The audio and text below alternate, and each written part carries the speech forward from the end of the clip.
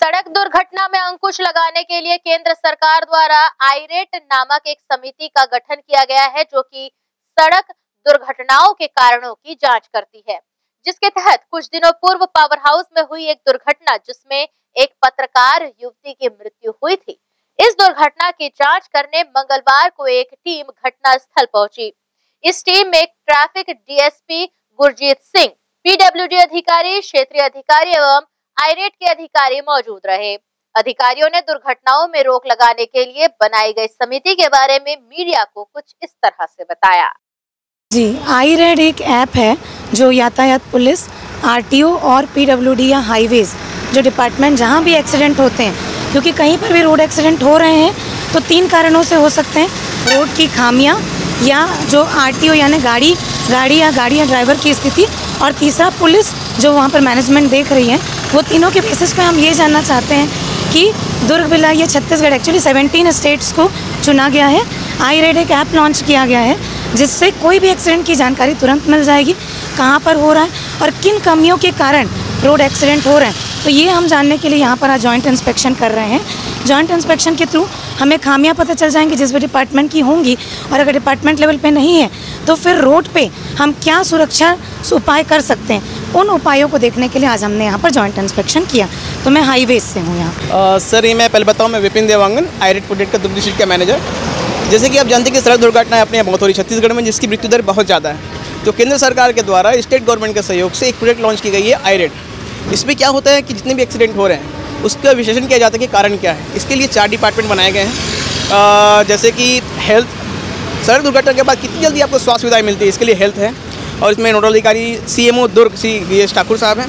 Police तो हर चीज़ के लिए पुलिस की आवश्यकता पड़ती है। इसके लिए पुलिस डिपार्टमेंट को जोड़ा गया है। पुलिस डिपार्टमेंट में ट्रैफ़िक जो हमारे डीएसपी साहब है, श्री गुरजीत सिंह साहब, वो नोडल बनाए गए हैं। और पीडब्ल्यूडी सड़क दुर्घटना कभी कभी सड़क में सड़क के सही न होने का कारण भी होता है। इसके लिए पीडब्ल्यूडी को रखा गया है इसमें। इसमें स्मिता पानीग्रही मैडम जो है पीडब्ल्यूडी के एसडीओ हैं, उनको नोडल बनाया गया है। और आरटीओ वाहन के संबंध में समझ जानकारी आरटीओ से मिलती है, इसलिए आरटीओ को भी जोड़ा गया है इसमें। इसमें वही है कि हमारा एक ही उद्देश्य है कि सड़क दुर्घटनाओं को कम से कम किया सके, मृत्यु दर रोका जा सके, ताकि आने वाले भविष्य में सब मृत्यु दर कंट्रोल हो सके और सड़क दुर्घटनाएँ कम हो सके, ताकि सबका, सारे डिपार्टमेंट का काम हल्का हो सके या कम हो सके। और जैसे कि देखिए कि यहाँ पे एक्सीडेंट हुआ था, यही जांचने आए कि कारण क्या है। वर्तमान में यहाँ पे ट्रैफ़िक व्यवस्था अच्छी है, वो कोशिश करते हैं, पुलिस अपनी तरह की कोशिश करती है, लेकिन लोगों का सहयोग नहीं मिल पा रहा है, इसलिए एक्सीडेंट हो रहे हैं। इतना कहूँगा लोगों से, जनता से कि पुलिस के नियमों का पालन करें, यातायात के द्वारा चलें, अनुसार चलें और सुरक्षित रहें। धन्यवाद। ये राज्य शासन और केंद्र सरकार की एक नई योजना है, आई आर डी ए। इसके अंतर्गत सड़क सुरक्षा को लेके एक वेबसाइट, एक ऐप डेवलप किया गया है। ऐसे स्थान जहाँ पे दुर्घटनाएँ होती हैं और जन, जनहानि होती है, किसी की मृत्यु होती है, ऐसी दशा में संयुक्त रूप से जो विभाग हैं उस स्थल का निरीक्षण करते हैं और निरीक्षण करने के पश्चात प्रयास करते हैं कि वहाँ पे जो भी कमियाँ थीं, उनको तत्काल दूर करके और ताकि भविष्य में वहाँ पे एक्सीडेंट ना तो उसी के अंतर्गत आज ये पहले बार प्रयास किया गया हमारे द्वारा। ऐसे स्पॉट में जहाँ पे मृत्यु हुई थी, वहाँ पे हम लोगों के द्वारा संयुक्त रूप से निरीक्षण किया गया। जैसा कि आप लोगों को पता है, यहाँ पर एक सड़क दुर्घटना हुई थी, जिसमें एक वेब पोर्टल के न्यूज़ एंकर की डेथ हो गई थी। तो ये अभी आई रेड एक ऐप है, भारत शासन का और मोर्स का गाइडलाइन है, सुप्रीम कोर्ट का भी गाइडलाइन है। और एम की धारा 135 में भी हमको निर्देश है कि जो भी एक्सीडेंट होते हैं, जहाँ पर किसी की मौत होती है तो उस सड़क दुर्घटना, सड़क घटना स्थल का संयुक्त रूप से आरटीओ और सड़क निर्माण एजेंसी, पुलिस द्वारा संयुक्त रूप से निरीक्षण किया जाना है। उसी तारतम्य हम यहाँ निरीक्षण करने आए थे और कारणों को खोज रहे थे कि कैसे क्या हुआ था। कैसे एक्सीडेंट हुआ और उसके कारणों को खोज के उसका निदान करने की कोशिश करेंगे, उसको रेक्टिफाई करना है। ये आगे भी इस जगह पे सड़क दुर्घटना ना हो।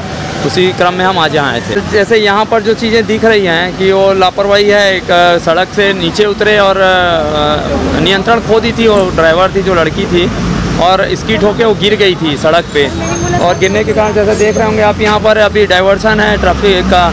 यहाँ सावधानी पूर्वक हमको गाड़ी चलाना चाहिए। और उन्होंने सावधानी किया, जिसके कारण उनको ठोकर लगी और वो गिर गई सड़क पे और उनकी जान चली गई। इसके तहत एजेंसी नियुक्त किया गया है, जिसमें चार प्रमुख विभाग होते हैं। स्वास्थ्य विभाग और पीडब्ल्यूडी विभाग, आरटीओ और प्रशासन के लोग रहते हैं।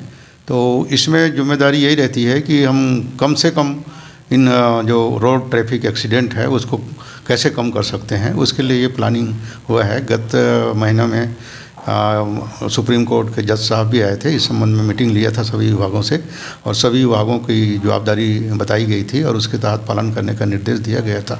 जिसमें मुख्य रूप से होता है रोड की व्यवस्था टर्निंग वगैरह ना हो जहाँ पर दुर्घटनाग्रस्त हों उन पर चिन्ह अंकित करें और उस पर धीमी गति करें इस टाइप का। दूसरा स्वास्थ्य विभाग की ओर से अस्पतालों में व्यवस्था तत्काल सुविधा उपलब्ध हो और वहाँ उपचार की व्यवस्था सुनिश्चित की जाए, है ना? Trauma centres खुलें।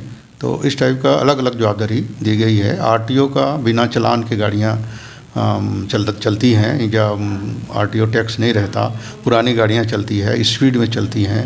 इस टाइप की गाड़ियों पर रोकथाम लगे ताकि हम लोग दुर्घटना जो होते हैं और उससे डेथ होते हैं, उसको कम कर सकें। तो इसका उद्देश्य यही था। तो उसके अनुसार ही हमारे ज़िले में ये कार्य चल रहा है और सभी लोग अपने विभाग के प्रति, अपने कार्य के प्रति सजग हैं और हम सब लोग इसको ध्यान देते हुए रोड ट्रैफ़िक एक्सीडेंट को कम करने में जुटे हुए हैं।